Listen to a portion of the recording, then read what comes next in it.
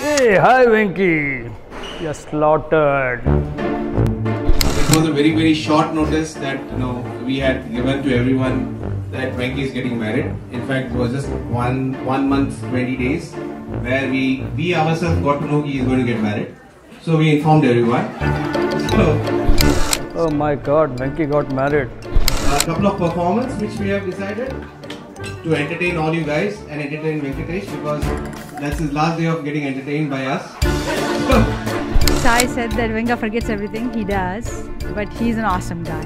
यार इतना साल का फ्रीडम है ना घर से लटकने वाला तो we are celebrating now Hope uh, uh, everything is fine and uh, welcome to the club of uh, marriage.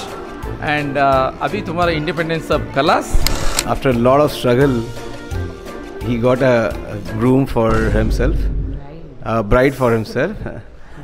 Sorry.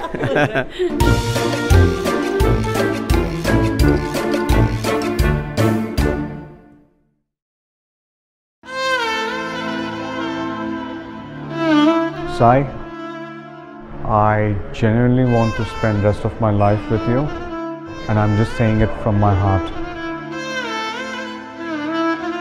I have loads of babies with you.